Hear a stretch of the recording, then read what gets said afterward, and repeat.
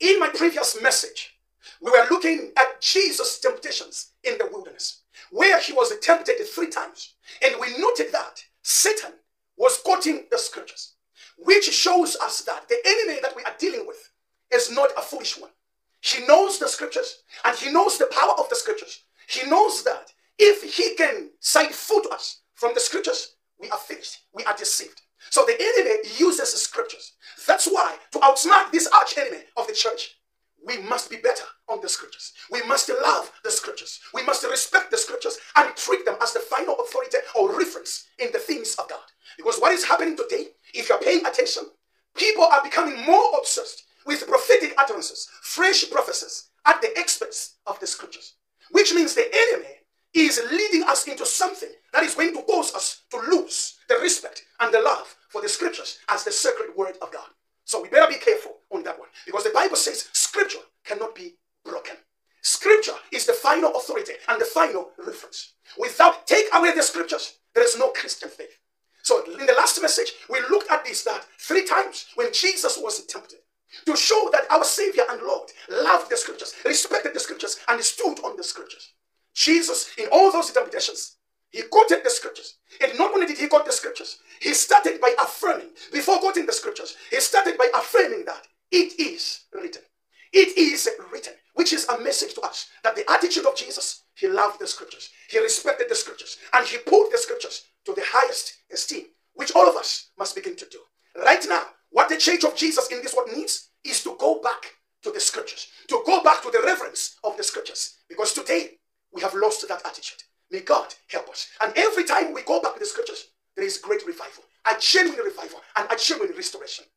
So today, let's go back to that scripture we read in the past sermon. That's Matthew chapter 4, verses 1 all the way to 11. So look at verse number 3, which says, And the tempter came and said to him, If you are the Son of God, command these stones to become loaves of bread. Let's skip to verse number 6. And he said to him, that's again, that is after he took him to the holy city and set him on the pinnacle of the temple. Verse number 6. And he said to him, If you are the Son of God, throw yourself down, for it is written, He will command His angels concerning you, and on their hands they will bear you up, lest you strike your foot against a stone. And finally, verse number 9. And he said to him, All these I will give you. I'll give you if you fall down and worship. Now, let's look at this because there is a repetition of a statement here which the devil used. And that statement is what we see on verse number 3 as well as on verse number 6, whereby the devil said, If you are the Son of God. That's where the enemy started from. So I always say that a repetition of statements must attract your attention because a repeated statement reveals the dominant thought of the one who is speaking. So we see the devil here is repeating the same preamble, the same starting point to say, if you are the Son of God. And again on verse number six, if you are the Son of God, throw yourself down, for it is written this and that. And finally, he brings in the temptation of the kingdoms of the world, which in other words shows us that the devil knew that Jesus had come with the kingdom of God. But he repeats to say, if you are the Son of God. Let us scrutinize that. What now, if you look at the context by going back to the previous chapter, where was Jesus? Where did Jesus come from? The answer is that Jesus came from the baptism at the river Jordan, where John the Baptist baptized him. And when John baptized him, something divine happened. Something huge happened because the Holy Spirit descended upon Jesus in the form of a dove. And at the same time, the voice of the Father from heaven was heard to say, This is my beloved Son. This is my beloved. That was God speaking. This is my beloved Son. That's what provoked the devil. The moment God pronounced to say, This is my Son, my beloved Son, the devil was provoked, was not no longer at peace. That's why I think he followed Jesus into the wilderness with all these temptations. And look at how he presents the temptations to say, if you are the Son of God. You know what that means? If somebody says, if you are the Son of God, command these stones to become loaves of bread.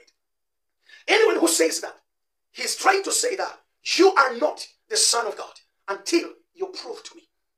You are not the Son of God until you prove to me by commanding these stones to become loaves of bread. You know, that's what provoked the devil to follow Jesus with these temptations. Because the Father pronounced on him that this is my Son. If anybody doubts that Jesus is the Son of God, here is the testimony. Because if Jesus wasn't the Son of God, the devil wouldn't have followed him into the wilderness and challenged him to say, If you are the Son of God, command these stones to become loaves of bread. By the way, this was a trick. The devil wanted to trick Jesus. Why? Because Jesus was at the end of 40 days of fasting. He was so hungry. It was the easiest way to bring food. Because that those stones, if they had become bread, that bread was going to be Jesus' food. In other words, the devil was trying to tempt Jesus by offering him a shortcut to finding food. Now, here was the danger, or here is the danger. If Jesus had been tempted to say, okay, I'm going to turn the stones into bread and I'll eat, and my fasting is over, Jesus was going to have committed a mistake of distrusting God. Because if the enemy says, if you are the Son of God, turn stones into bread, he is saying, you are not the Son of God until you prove to me. In other words, the devil was sowing doubt in Jesus, to doubt the voice of the Father. Because the voice of the Father, which came when he was baptized by, by, by John the Baptist, that was his evidence. The Father is the truth. When he said, This is my Son, that was enough. There was no need to turn stones into bread in order to prove that he's the Son of God. Because the voice of the Father was enough. So that's why Jesus, his answer was, It is written, Man shall not live by bread alone, but by every word that comes from the mouth of God. And one of those words that proceed from the mouth of God was the voice of God, which came from heaven when Jesus was baptized to say, This is my Son. So if you are the Son of God, throw yourself down from here. You know, you must avoid the temptation to prove to people. That's the other lesson from here, especially to fellow ministers. Here was an opportunity for Jesus to perform a miracle, but the motive was wrong. So listen to me, my fellow pastor, bishops, apostles, prophets.